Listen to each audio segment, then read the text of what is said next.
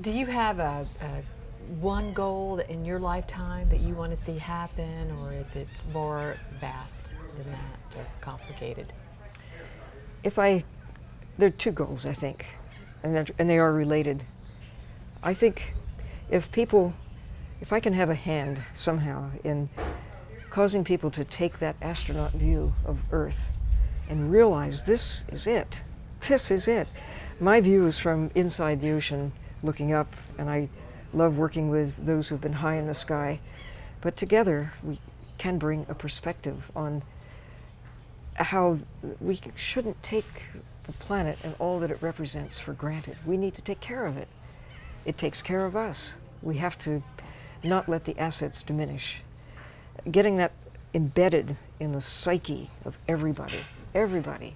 You don't destroy the planet that supports you. You do everything you can to take care of what remains of the four and a half billion year legacy that we all inherited. And we do everything possible to restore what we can of what's been damaged or lost. So that's one. And two is how do you do that? Well, protected areas coupled with overarching policies. But I think most important is getting into the hearts and minds of people to get them to understand. When you know, you might care. You might not care even if you know, but it starts with understanding. I try to drag people into the water with a face mask on, of course, and to see what's there, to get them to see for themselves. And if they can do that, if, if people broadly understand, there is hope. There is hope for the things that people say they care about, that I care about. I care about people most of all. I am a dedicated tree hugger, whale hugger, fish hugger, you know, I love all life. But I love people most of all. I have three children and four grandchildren, all grandsons. And they all they give me a perspective of wanting to keep the world safe for them. So what and it's ever been that way generation after generation. You want the world to be better for the ones coming along that you have come to care about.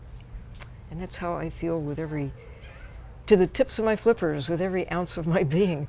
I want that to happen. And it's the urgency is that it's painful to see losses that are that are permanent. Having watched the decline of coral reefs, we've lost about half in the last 50 years. Either they're gone, that's about 20%, or they're in a serious state of decline. In the Caribbean, throughout most of the Caribbean and the Gulf of Mexico, about 80% are gone. In some places, they've, they've, they've simply disappeared. But the good news is 10% are still in pretty good shape. Half of them are lively enough to be able to be recovered, restored, if we take actions to protect them. And it isn't just because they're beautiful we're not putting them in a box away, away, but rather because they are what make part of what makes the ocean function. They're a life source. It, it makes the world function. We're just, it's like protecting your heart. The ocean is the blue heart of the planet, and the life in the ocean is what makes the heart beat.